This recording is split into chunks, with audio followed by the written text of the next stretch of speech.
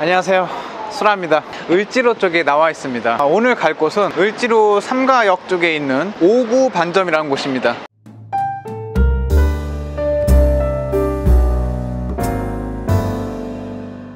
이 뒤쪽에 있는 게 오구 반점인데요. 왜 오구 반점인지는 잘 모르겠어요. 53년에 지었는데 그러면 53 반점 해야 되는 거 아닌가? 53 반점 아니고 오구 반점입니다. 59년 아니면 뭐 59년 왕십리인가? 아들 이름이 뭐 창업자 이름이 오구일 수도 있고 아무튼 무슨 이유인지 모르겠지만 오구 반점입니다. 1953년에 창업을 했습니다. 지금 한 거의 70년 가까이 되는 곳이고요. 화교분이 하고 계시는 중식집입니다. 여기 대표적인 거는 군만두가 유명해요. 그래서 손님들 중에 95%가 무려 95%가 군만두를 무조건 시킨다고 합니다. 그 정도로 맛있다고 해요. 메뉴판을 제가 오기 전에 확인을 해봤었는데 옛날식으로 표현되거나 옛날식 메뉴들이 꽤 있어요. 군만두 무조건 먹고요. 밖에 입간판을 보니까 탕수육이 있더라고요. 탕수육 맛있을 것 같아서 탕수육 먹고 오랜만에 유니짜장 먹어보겠습니다.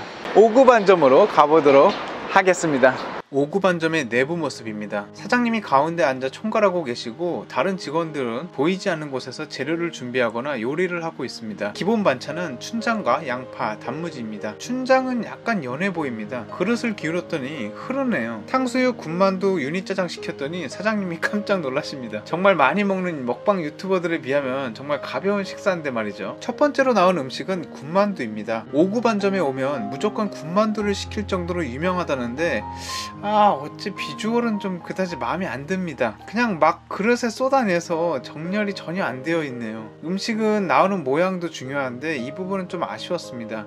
아니 근데 비주얼도 비주얼이지만 군만두끼리 너무 붙어 있는데요?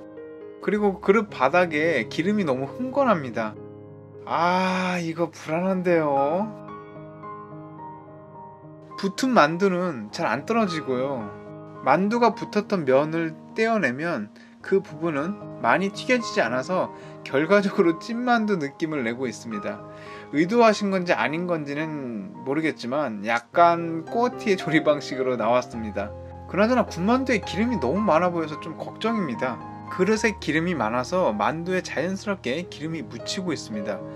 젊은 여성분들이 이거 보면 기절하시겠는데요. 만두의 튀김 정도는 아주 잘 되어 있습니다. 만두피가 적당히 얇으면서 기분 좋게 전체적으로 바삭합니다.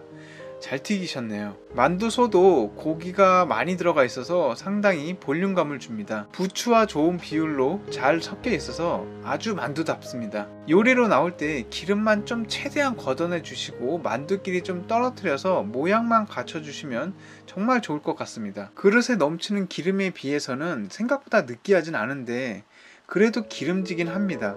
군만두 자체는 맛있습니다. 사람들이 군만두 찾는 이유를 알 것 같습니다. 특히 잘 튀겨진 만두피가 아주 맛있고 만두소의 고기도 아주 충실한 편이며 음식감도 괜찮습니다. 오구반점의 군만두는 기름만 완벽히 걷어내고 모양만 신경 쓰면 훨씬 더 유명해질 것 같습니다. 식사로 주문했던 유니짜장입니다. 면을 보니 양은 생각보다 많아 보입니다. 만족스럽네요. 짜장을 붓고 비벼보겠습니다. 유니짜장은 비비기 꽤 편했습니다. 잘 비벼지고 면끼리 뭉치지도 않아서 좋았습니다.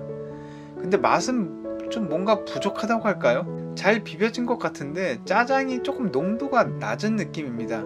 덜 기름진 것은 괜찮은데 짜장 자체가 우리가 일반적으로 먹는 짜장의 달콤 기름진 맛이 아니라 옅은 춘장 느낌이라고 해야 될 것 같습니다. 약간 짭조름하고 소스에 많은 재료가 섞인 느낌은 없습니다. 유니 짜장이 갖추어야 할 요소는 제대로 갖췄는데 짜장 소스 자체가 저랑은 그다지 안 맞았습니다. 계속 먹다 보니 바닥에 점점 물기가 고여갔습니다.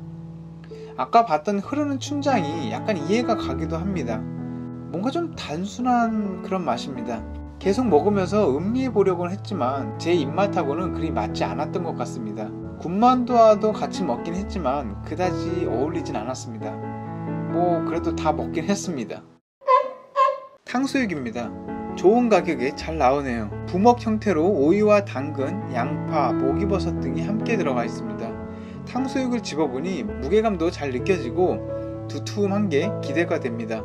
군만두를 잘 튀기셔서 탕수육의 튀김도 약간 기대했는데 탕수육의 튀김은 그다지 바삭하진 않고 닭강정을 튀겨낸 그런 느낌처럼 두께가 있는 튀김입니다. 고기는 등심이 아주 잘 박혀 있어서 만족감을 줍니다. 소스는 신맛이 별로 없고 거의 단맛이라 먹기 좋고 탕수육 자체는 볼륨감이 있어서 사람을 흐뭇하게 만들어줍니다. 옛날식 탕수육 조리 방식에 고기는 등심이 잘 들어가 있어서 군만두와 더불어 충분히 인기가 있을 것 같습니다. 잘하신다고 말하기보다는 맛 좋게 만드신다라고 표현할 수 있을 것 같습니다. 단점이라면 탕수육 튀김이 바삭하지 않고 약간 두꺼운 편이라 포만감이 좀 더 빨리 올 수 있다는 점하고 소스가 달아서 먹기 좋았던 부분도 있었지만 시간이 지날수록 소스 자체가 살짝 고체화되어 가고 있어서 약간 부담스럽게 느껴지긴 했습니다. 중간중간에 단무지를 먹긴 했지만 단무지가 입안을 초기화 시켜 주지는 못했습니다. 그래도 돼지 등심이 잘 들어가 있고 탕수육이라는 단어가 주는 이미지는 충실히 전달해주고 있어서 만족스럽게 먹긴 했습니다. 오구반점은 지금 추구하는 중식의 맛과는 약간 다를 수 있지만 예전의 조리 방식이 많이 남아있는 곳이었습니다. 전체적으로 뭔가 하나씩은 눈에 거슬리는 부분이 있긴 있었습니다. 군만두는 기름만 조절해서 내주시면 좋을 것 같고 짜장면은 물기를 좀 빼주셨으면 좋겠고 탕수육은 소스를 조금만 더 부드럽게 내주시면 훨씬 더 맛있는 음식이 될 수 있을 것 같습니다. 군만두, 탕수육, 유니짜장을 다 먹은 제게 사장님께서 엄지를 굳게 올려주셨습니다. 잘 먹었습니다. 저는 또 맛있는 중식당 찾아 떠나겠습니다. 감사합니다. 수라였습니다. 오구반점 사장님께 직접 여쭤봤습니다. 사장님, 도대체 왜 오구반점인가요? 라고 물어봤더니 첫 번째, 주소지가 을지로 3가 5-9라서 오구입니다. 두 번째, 사장님 본인의 학번이 오구 학번이라고 합니다.